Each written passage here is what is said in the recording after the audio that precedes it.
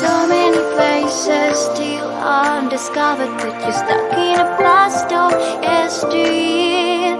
Forget all the problems just for the moment. That is that kind of story.